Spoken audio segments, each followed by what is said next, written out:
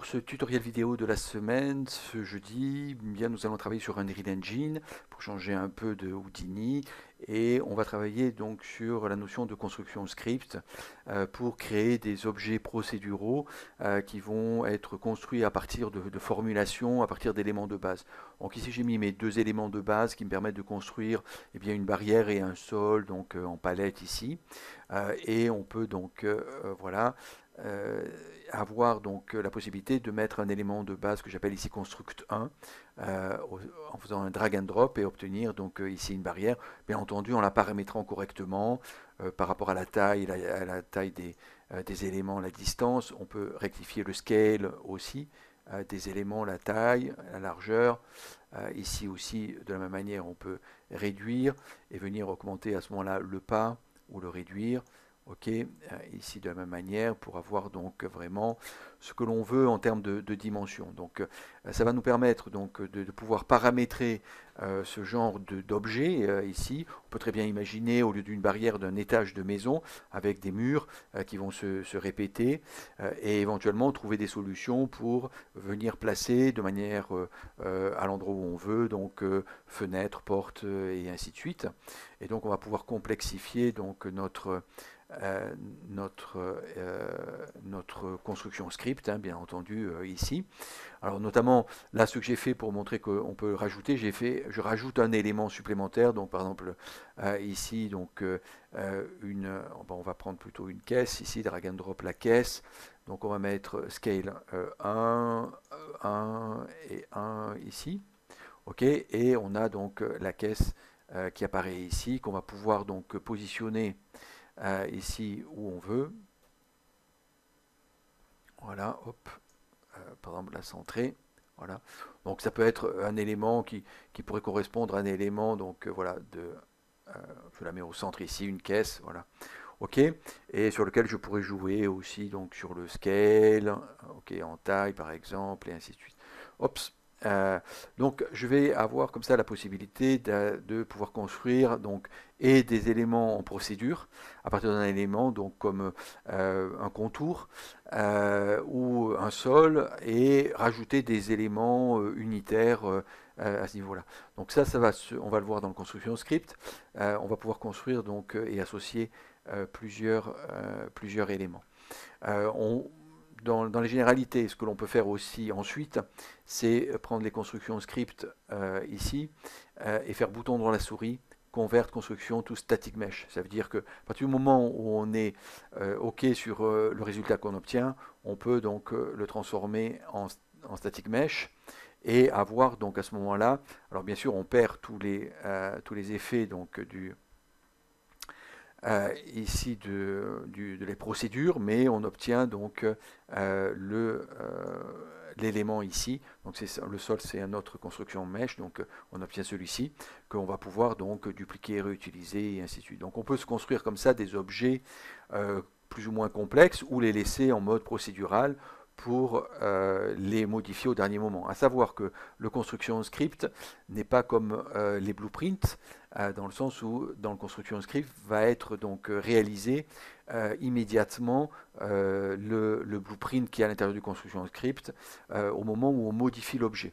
Et donc à ce moment-là, si on ne modifie plus l'objet, et, bien en termes de paramètres, en termes de, de de déplacement, location, scale et autres, et bien le, le construction script ne va pas évoluer, ne va pas changer.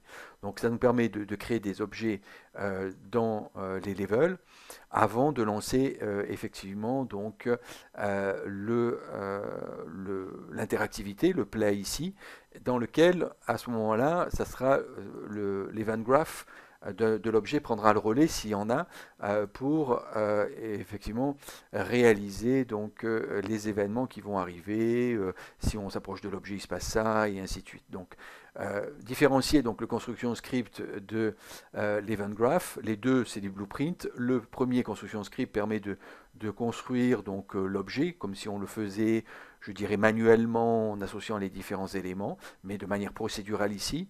Et euh, l'event graph, lui, va être aussi en blueprint, bien entendu, et euh, venir donc réagir aux événements qui vont être donc proposés ici dans l'event graph. par exemple, encore une fois, si on s'approche de l'objet, au begin overlap, des, des, fonctions comme ça, eventic, on va pouvoir donc avoir des événements qui vont se construire à ce niveau-là. Ok. Donc, euh, le construction script, en fait, va reprendre euh, les, euh, tous les éléments blueprint, donc tous les nodes de blueprint que l'on peut connaître. Donc, il y en a qui seront plus spécifiquement utilisés dans le construction script que dans l'event graph, mais on va retrouver un peu les mêmes constructions. Donc hiérarchiquement, moi ce que je, conseille, euh, si on a des, formes complexes à réaliser avec pas mal de, paramètres, euh, comme ici on a quelques-uns, euh, c'est de venir donc à la base du construction script, d'essayer de, créer des, fonctions qui vont permettre donc de ne pas avoir dans l'onglet construction script, dans, le tableau ici construction script, dans l'édit, l'ensemble donc du déroulé de, ce que l'on veut faire. Ça veut dire l'intérêt c'est de euh, regrouper par fonction euh, le, ce qui va se répéter par exemple ou ce qui va évoluer donc en termes de, paramétrage.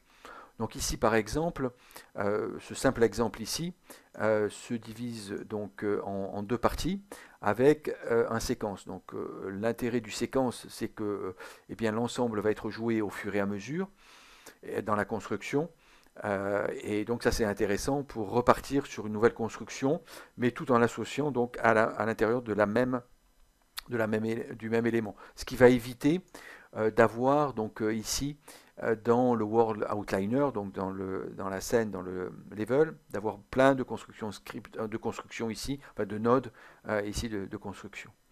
Voilà, donc ça c'est pour le, construction script. Alors pour commencer un construction script, on va voir un exemple simple. Euh, ici, euh, pour en réaliser un, le plus simple euh, c'est de venir donc, ops, je viens sur mes mèches BP ici, ce que j'ai déjà réalisé, c'est de faire bouton droit la souris, donc blueprint class, et de faire un blueprint actor. Ok, donc on fait un blueprint actor, donc on va appeler barrière par exemple. Hein. Euh, ok, barrière 3 parce que j'en ai déjà fait euh, ici. Et on va pouvoir donc euh, à ce moment-là double-cliquer dessus et avoir donc la possibilité de pouvoir ici avoir donc les éléments soit dans le add component, on pourra construire donc avec un blueprint actor une composition de, plusieurs objets directement euh, ici, il est positionné les uns par rapport aux autres, donc on fera donc ou drag and drop. je vais faire rapidement euh, l'exemple, je reviens sur mes mèches. Euh, ici, je vais la caisse par exemple. Voilà, hop, j'ai une caisse, j'ai une chaise. Hop, voilà, ici. OK. Et donc, je reviens montrer ce que j'ai fait. OK, ici, je déplace ma chaise. Voilà, chaise et caisse ici sont disposées. Je peux faire compile, save, et donc à ce moment-là, je vais me retrouver je vais me retrouver donc avec un méta-objet que je vais retrouver donc dans mes mèches. Ici, il est là. Voilà. Donc celui-ci, je peux faire drag and drop et euh, j'obtiens, hop, c'est pas le bon, c'est celui-ci, drag and drop la chaise et l'élément ici. Donc je peux très bien construire donc des éléments comme ça dans le construction, euh, enfin dans le blueprint actor, on n'est pas dans le construction script justement, et dans le ça c'est dans le viewport euh, de manière interactive, hein, on a les éléments ici, et dans le construction script je vais pouvoir faire la même chose mais euh, avec des procédures nodales et des choses plus compliquées et automatiques effectivement pour obtenir donc un bon le résultat que je recherche. Donc ici je supprime construction script ici, ok. Donc, euh, je parlais donc de l'imbrication euh, de, fonctions ici, qu'on a des choses complexes à faire. Donc, hop, euh, ici, construction, ce que j'appelais construction ici. Je vais juste le décrire, on ne va pas le, détailler ici, on va faire un exemple plus simple, parce que ça serait trop long par rapport au tuto du jeudi, mais c'est juste pour montrer la, construction ici. on a donc ici deux fonctions qui sont appelées avec un ensemble de paramètres, encore une fois, qui sont des paramètres euh, que l'on va donc, euh, si j'ouvre les variables, euh, les composants ici, les variables, qu'on va retrouver avec l'œil ici visible, public, et donc du coup on va les retrouver, on va les retrouver donc si je fais une construction, encore une fois on va les retrouver ici dans les composantes. et on va pouvoir donc venir modifier donc ces paramètres. Donc ça c'est important de lister les paramètres qui vont donc venir se se positionner, je, mets les deux ici, se positionner ici donc euh, sur le component ou le, detail euh, ici, euh, de telle manière de, pouvoir avoir la main sur les modifications qui nous intéressent. Donc ici par exemple, je, vais, prendre l'exemple, le premier exemple simple ici, rajout d'une forme seule. J'ai fait une fonction ici où je fais rentrer en paramétrage donc une position, une rotation et un scale. Donc ça, ça, ça paraît assez simple à comprendre. Donc la fonction ici, je vais initier, donc on va le voir trois, euh, trois paramètres ici. Position 2, rotation 2, scale 2, euh, ici des vecteurs ou le rotator. Et je vais venir donc créer une fonction. Cette fonction, je vais la, construire, donc euh, rajout forme seule, il est ici, où je vais donc venir utiliser cette méthodologie pour venir positionner donc mon objet de manière interactive. Donc ici j'ai ma fonction donc euh, rajout euh, le début de ma fonction rajout forme seule où je vais retrouver mes trois euh, que j'ai mis en input. Hein. donc il faut venir ici sur le côté euh, rajouter plus ou moins en input pour euh, rajouter des, entrées et on fera la même chose en output ici, il n'y a rien pour l'instant en sortie. Ok, ça c'est les bases des, fonctions, je le rappelle juste ici. Je vais utiliser un add euh, statique un add static mesh componente ici. Sur lequel je vais mettre donc un élément, un cube de base ici. Ça c'est pour générer donc en fait un static mesh componente. Euh, dans, ce, dans cette euh, procédure, ici dans cette fonction, pour venir le modifier ensuite. Donc je le modifie ici en faisant un state, euh, static mesh, à partir donc d'un static mesh ici. Ça me permet de sortir donc le static mesh parce que ici si je le break, voilà, break link, ici je vais pouvoir le choisir, mais je, serai obligé de rentrer dans la fonction ici pour le, modifier. Alors que si j'ai euh, ici cette euh, connexion vers une variable que j'ai créée, donc c'est construct2, on la retrouve dans la liste ici, dans la liste euh, ici, construct2, et eh bien construct2, et, ici donc par défaut on va mettre clear, voilà, et je fais compile et save, et donc construct2 va être un static mesh que je vais retrouver comme variable donc ici. Donc si je viens euh, sur mon euh, construction euh, ici, j'ai ma deuxième partie. Donc la première partie, c'est les, fameux motifs de répétition, donc le sol et tout ça. Et puis ici, je vais pouvoir donc dans la deuxième construction venir faire un drag and drop grâce à cet effet-là. Donc ici, ce que je vais faire pour qu'on comprenne bien, je vais supprimer le premier construct, c'est celui-ci dont je parle, celui qui est créé donc à partir de palettes euh, ici, et je vais pouvoir par exemple poser une chaise sur les palettes. Donc euh, après, je, pourrais faire des procédures pour en poser plusieurs. Hein. Donc euh, ici, je vais venir donc dans le content, mesh, et je vais retrouver ma chaise, hop là, voilà, et drag and drop ma chaise ici. Donc scale, alors je pourrais mettre des, paramètres par défaut de 1, ça serait quand même mieux pour le voir apparaître, pour pas qu'on ait de, de problème ici sur le scale 2. Et donc là c'est assez simple. Je viens sur mes paramètres, je rappelle qu'on peut définir des paramètres de base de, par défaut, ici dans défaut value. Donc je compile, je save euh, ici et je viens les modifier après, enfin j'aurais dû le faire après le compile et save, mais c'est pas grave. Donc construct scale ici, je compile et je save, c'est-à-dire les valeurs par défaut, ça sera 1 ici. Euh, donc du coup, maintenant si je, refais la manip clears, je prends euh, ma chaise, drag and drop, hop, elle apparaîtra directement parce que scale est égal à 1. Elle sera sur les positions relatives de rotation et position ici du début donc de, du, construction. ok?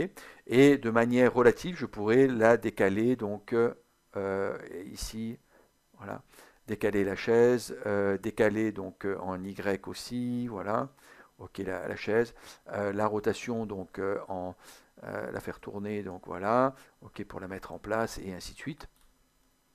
Donc ça va me permettre ici d'avoir un élément indépendant que je pourrais positionner par rapport au sol que j'aurais créé ici. Donc ça, ça peut être aussi un, élément indépendant, un, acteur que je, mettrai en place ici. Donc j'ai la add static mesh component, construct, static mesh component ici, variable donc de static mesh. C'est lui qui va être donc il va récupérer un nouveau static mesh ici et euh, donc ce static mesh étant euh, changé euh, ici, eh bien, je viens créer un set relative location et rotation, de telle manière de faire ce que je viens de, montrer, où je vais avoir les deux positions 2 et rotation 2 qui correspondent donc dans la construction script à mes deux constructions 2 post, construction 2 rot ici, que j'ai retrouvé bien entendu euh, à l'extérieur dans euh, le detail ici que je vais pouvoir faire varier. Donc euh, directement, forme seule, ça va modifier donc les paramètres ici de new location, new rotation. et la même chose pour le scale, le troisième qui est indépendant ici. Et j'ai la fin ici donc de, de ma fonction. si je veux bien faire, il faut que je mette un hand ici. Un hand Ok, ops. Ops, c'est un, return, add return node, pardon, euh, ici, hop, pour finir euh, et faire la sortie. Et si on a des paramètres de output, ils viendront se positionner ici, comme on a des paramètres de, euh, ici en input à ce niveau-là. compile, save, ici, et j'ai toujours ma chaise qui est modifiée, qui est là. Donc, et je peux faire donc euh, drag and drop directement de la chaise, avoir une caisse et ainsi de suite. Euh, donc je peux changer euh, ou la forme de ma chaise ou la forme de, l'élément ici directement. C'est vraiment intéressant à ce niveau-là. Ok. Donc on, va pouvoir comme ça donc construire des, des, éléments. bien entendu, donc ici j'ai montré comment réaliser et positionner un élément simple. Quand on a un plancher à partir d'un élément unitaire que l'on voit euh, sur le côté ici, qui est euh, la palette, effectivement, on va avoir besoin d'imbriquer des boucles les unes dans les autres. Donc euh, ici, c'est ce qu'on obtient donc ici avec donc cette construction ici. Alors, je ne vais pas la détailler parce qu'elle est assez euh, complexe. Elle prend en compte le fait qu'on peut créer donc et un plancher avec cette forme-là et un effet de bord. Et donc, si on veut un, bord ou on n'en veut pas, euh, ça va euh, créer donc des, des, constructions différentes. Donc, ici, je vais revenir sur lui. OK, construction 1. Et on a la possibilité donc voilà d'avoir ici bord pour venir voilà construire donc euh, des effets de, bord ici. Ok, avec des corrections euh, d'effets de bord justement. Et à ce moment-là, on a un contour euh, et on va pouvoir donc augmenter ou réduire bien sûr la, taille, le dispositif, la hauteur ici scale pour faire une barrière par exemple à ce moment-là. Voilà comme je disais un, contour. Bien sûr on changera éventuellement l'élément et ainsi de suite. Donc on peut faire des, paramétrages à volonté je dirais presque euh, en complexifiant beaucoup euh, ce, euh, ce, type de, construction script pour obtenir donc le, le résultat donc recherché ici euh, on verra dans les prochains tutoriels euh, du, jeudi, hein, on en fera d'autres, où on verra comment on utilise donc euh, les, les, loops ici et les conditions avec des branches dans les constructions script pour obtenir justement tel ou tel résultat ici. Juste pour information, ce type de construction, euh, quand ils deviennent assez complexes, effectivement, euh, peuvent demander du temps de mise en œuvre, à savoir qu'il existe euh, des, des, plugins pour Unreal Engine qui permettent donc de, de, réaliser un peu les, les, mêmes choses, donc différents plugins déjà tout prêts. Euh, selon ce que l'on veut faire et jusqu'où on veut aller, jusqu'où on veut personnaliser, euh, il est intéressant aussi de, regarder bien sûr euh, ce qui est dans la boîte à outils de Unreal Engine comme plugin pour réaliser donc ce type de, construction. Bon, l'avantage donc de, travailler dans la construction script en termes nodal et procédural, c'est qu'on va préparer exactement ce que l'on veut, à savoir que aussi, bien entendu, la construction que l'on fait, la construction que l'on fait dépend de l'élément unitaire qu'on va utiliser. on pourrait avoir donc des, choses qui fonctionnent moins bien. par exemple, si je prends ici Ok, non, c'est pas celui-là. Ah oui, effectivement, c'est celui du dessus. Euh, ici, hop, voilà. Euh, si je prends, euh, voilà, on pourra avoir des choses qui, alors ici, on va se remettre en 1, qui marchent moins bien. Pas tellement que le, le construction script ne marche plus dans ses boucles et tout ça, c'est que l'élément de base, ici, va avoir donc un point de pivot, une forme qui va être différente et qui va pas bien totalement bien fonctionné. On voit le décalage ici, hein. on voit les, décalages des ouvertures, totalement bien fonctionné avec le construction script que l'on aura donc euh, euh, réalisé. Donc euh, à ce moment-là, ce qu'il faut faire, c'est bien entendu bien prendre en compte l'élément de normaliser l'élément de base. donc notamment par exemple ici, mon bon élément de base, ça sera celui-ci, qui permettra donc d'avoir quelque chose. c'est celui-ci. Ok. Voilà. Euh, non, non, euh, ok, je n'étais pas sur le bon construction. Ok, c'est ça. Voilà. Donc euh, voilà. Là, ici, j'obtiens quelque chose donc, qui est plus on met un ici pour corriger, voilà, là sur la longueur, j'obtiens quelque chose qui est plus propre, hein, et, et, ici, grâce au fait qu'on va utiliser donc cet élément de base, euh, qui a un point de pivot euh, spécifique euh, positionné donc en x, y, z, que l'on va prendre comme référence pour ensuite donc l'utiliser systématiquement. Alors bien sûr pas toujours le même objet, mais dans les différentes modélisations qu'on va réaliser dans un logiciel comme Maya ou Houdini, eh bien on va repartir donc on va reprendre donc un point de pivot sous ce format-là, euh, ici, de telle manière que ça puisse correspondre donc euh, à notre processus dans le construction script, notamment des loops et des positionnements, de telle manière qu'on obtienne un résultat cohérent, euh, comme on peut le voir ici avec la barrière. Donc voilà, euh, pour cette introduction aux constructions script, hein, on a vu deux, trois choses, euh, et on, verra la prochaine fois comment effectivement utiliser donc, des boucles euh, et des, conditions de telle manière d'obtenir un processus un peu plus complexe.